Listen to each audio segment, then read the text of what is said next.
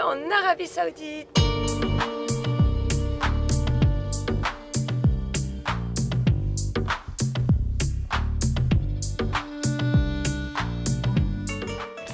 Ah, on est trop content d'être arrivé là.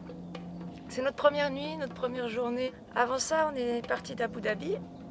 On a fait une nuit au bord d'une réserve naturelle avec un très joli lac avec des pêcheurs. C'était magnifique. Et nous sommes partis pour la douane.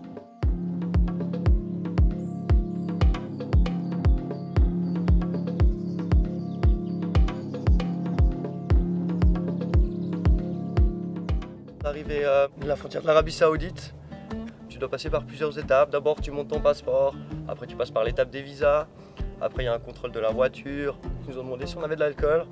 Et après, on a pu passer, donc ils nous ont donné tous les papiers. On a pu sortir, les douaniers étaient exceptionnels, super sympas. Ils se demandaient qu'est-ce que des Suisses venaient faire en Arabie Saoudite, qu'ils adoraient notre pays. On a même un qui nous a donné son numéro de téléphone pour qu'on l'appelle quand on était à Riyad. Donc vraiment, euh, l'accueil était vraiment parfait. On a entamé la route, une longue route toute droite pendant 500 km.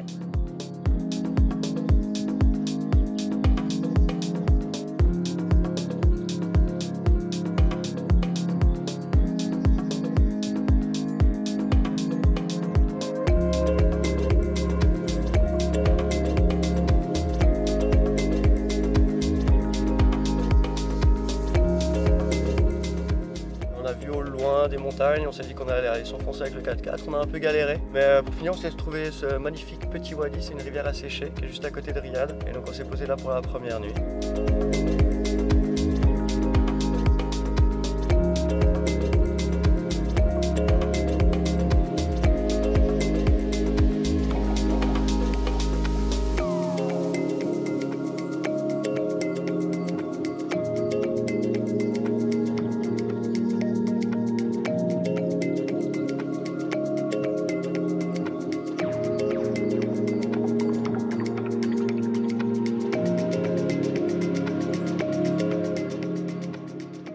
Voilà, on va aller à Riyad. On va pas rester longtemps, on va juste euh, chercher du stock, tout ce qu'on a besoin.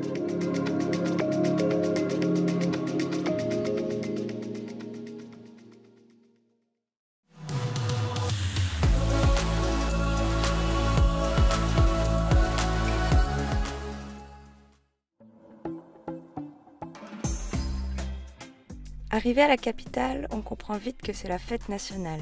Le pays fête ses 90 ans.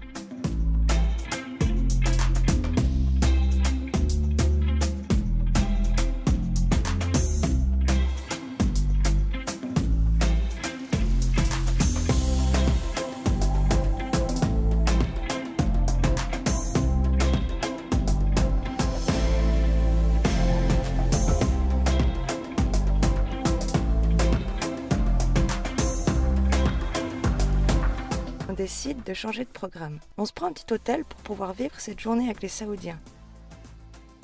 Peu avant le coucher du soleil, des animations et des groupes de musique s'installent dans toute la ville et commencent à faire la fête.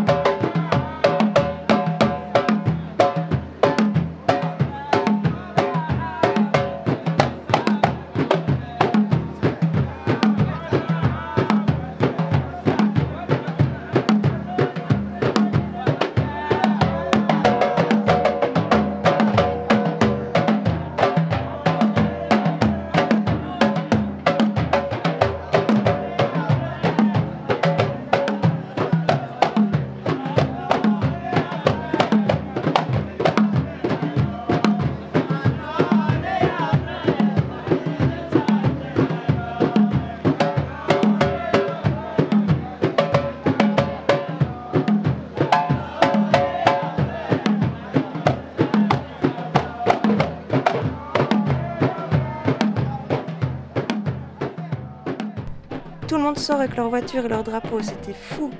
On a pris la nôtre, direction un centre commercial à ciel ouvert où des animations étaient prévues.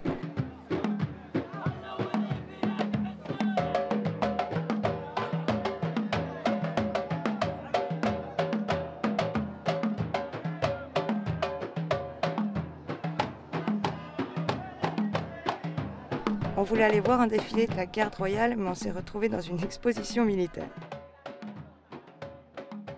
On était les seuls touristes. Les officiels de l'armée et des frontières voulaient prendre des photos avec nous et nous demandaient si on se sentait en sécurité dans le pays. Ils étaient tellement gentils. On a passé une super soirée et en plus de ça, c'était très intéressant. Bon, c'est le lendemain de la fête nationale. On est de retour un peu dans le centre historique à Riyad. On essaye de chercher une, une abaya pour Zoé. Mais bon, il y a toujours tout qui est fermé. Normalement, ça va ouvrir ce soir. Mais on va quitter la ville quand même. Donc, on est en train d'essayer de trouver dans les seuls magasins ouverts afin de trouver cette tenue.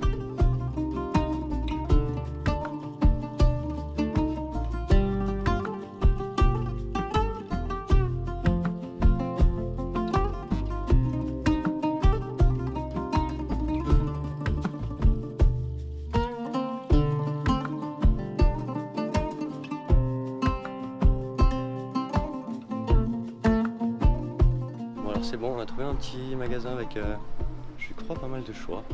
On devrait trouver euh, son bonheur.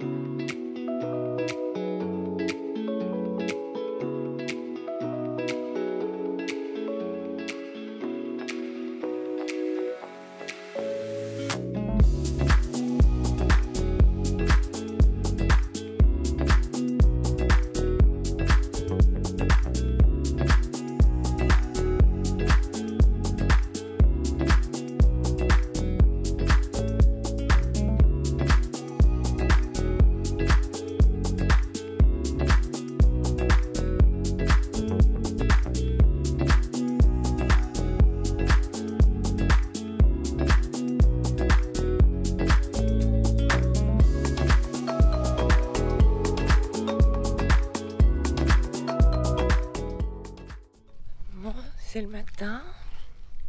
Je fais ma petite balade matinale dans la nature pour voir un peu comment c'est autour de nous, vu qu'on est de nouveau arrivé de nuit. et là, je vais prendre mon petit sac poubelle et aller enlever tous les déchets que je trouve. Il y a aussi ce genre de choses. Des balles, des douilles, mais bon, c'est comme ça, hein va falloir qu'on s'habitue. je vous regarde pas trop parce que le sol c'est pas tout de. c'est pas tout simple. Hop. Ah, puis là, on voit partout des petits trucs comme ça. C'est trop chou. C'est les.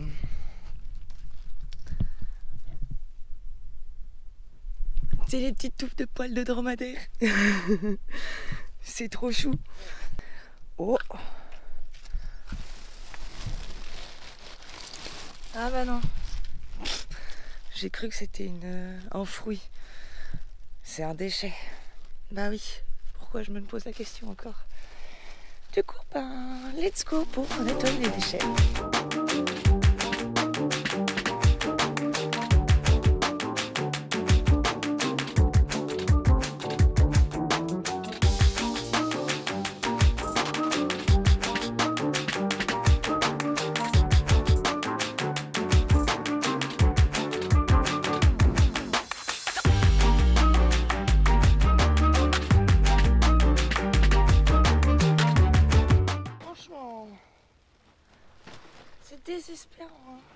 Beaucoup trop de déchets, beaucoup trop de déchets, beaucoup trop de déchets, déchets, déchets. Hop, hop. Par contre, ça, tu vas rester dans la nature.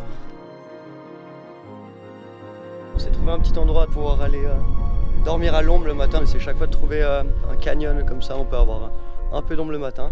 Et à côté de ce canyon, il y a ce magnifique bâtiment donc on se demandait ce que c'était, et puis on a regardé, du coup c'est un pigeonnier. Donc ils faisaient des élevages de, pigeons à l'époque. Donc euh, on va aller voir à l'intérieur.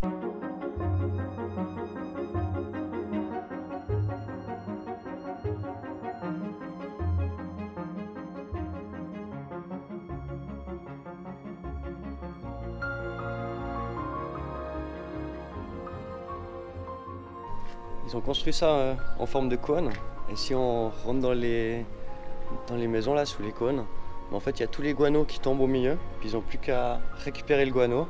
Ils utilisent ça comme euh, fertilisant pour les champs. Et ils utilisent aussi tous les guanos euh, bah, pour tanner le cuir et pour faire de la poudre à canon. donc c'était vraiment une, une, culture de guano. Et on voit un peu comment c'est construit et tout. Donc il y a l'air d'avoir des sortes de tubes en terre cuite où les oiseaux peuvent venir dedans. Après, c'est construit avec des sortes de, boules. On voit pas si c'est des cailloux comme ça qui sont tout polissés.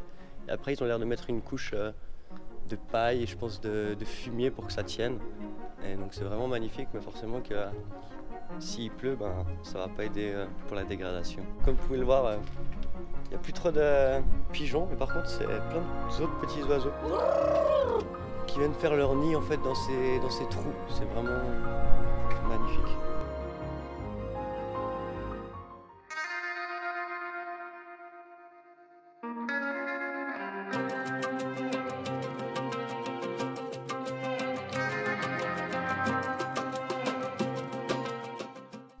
Nous passons par la ville de Leila, où tout était encore fermé. Nous avons compris qu'en Arabie Saoudite, de midi à 4 heures, les villes s'endorment pour se réveiller lors de la prière.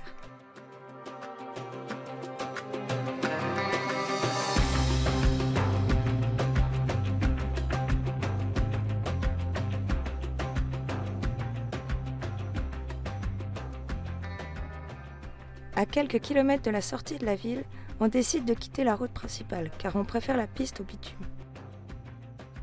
Nous sommes donc à la recherche d'un joli endroit pour la nuit et avec un peu de chance, un peu d'eau au fond du wadi. Mais la saison des pluies n'est pas encore arrivée dans la région, nous la trouverons plus au sud. On se retrouve la semaine prochaine pour la suite de notre voyage.